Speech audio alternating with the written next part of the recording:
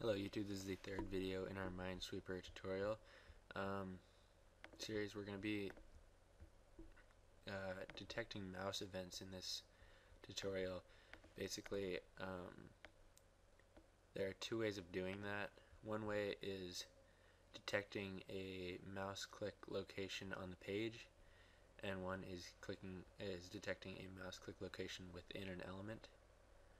Um, and it's way more complicated to do it with, within an element so we're just going to align our our um, game with the top left corner so that we can do it on the page and then have our controls below it um, for simplicity's sake basically.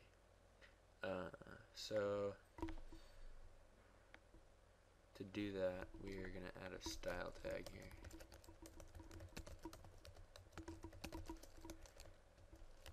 say body margin 0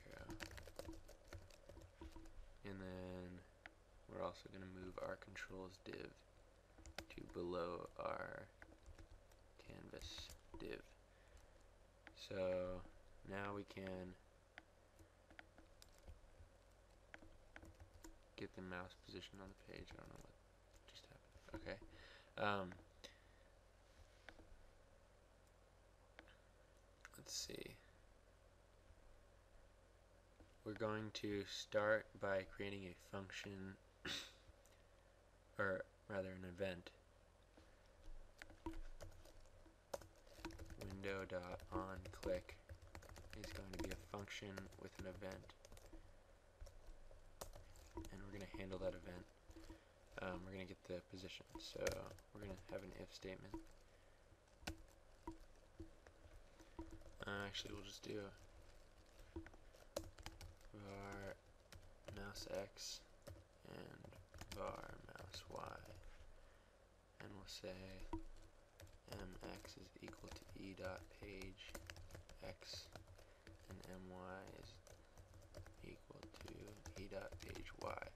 And we can check this is working by console dot logging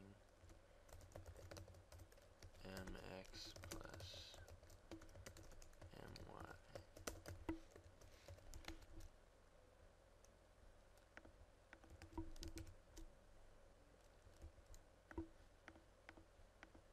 so that's very hard to read, but get the idea. Um, if we put a comma there, it'd be much more readable.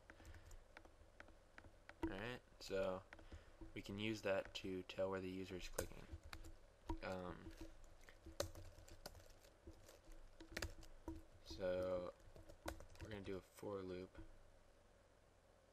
Actually, we're going to we're going to use modulus to basically um, get the remainder of a here I'll show you. Um, so if mx here if the floor of mx divided by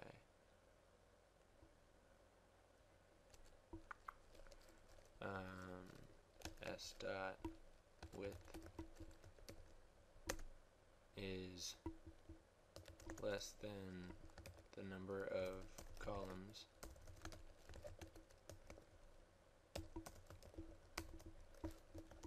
And the floor of my divided by s dot height is less than the number of rows then we want to determine which box was clicked.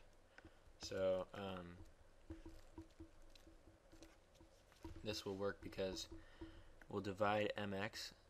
Um, for example, if we click in the first box, we can divide 44 by 30, and that will give us something like 1.5 around then, around there, um, and 43 by 30 so we'll get 1.5 and 1.5 and then we'll take the floor value of each of those which will give us 1 and we'll say this is 1, 1 and we'll say that's 0, 0. So 16 divided by 30 is going to be less than 1 so the floor value of it would be 0 15 divided by 30 is going to be less than 1, so the floor value of it would be 0 also. So that's how we're going to determine the coordinates of the box. Um, so we'll say um, clicked x is equal to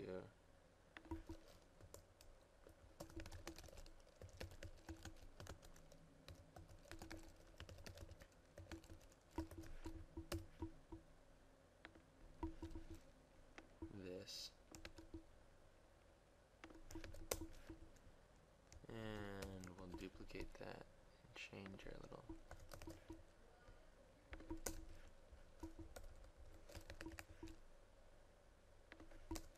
Alright. So we will console.log each of these.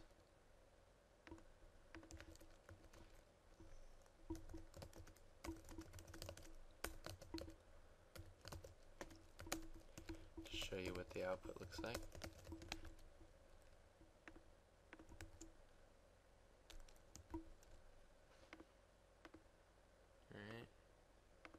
Makes sense.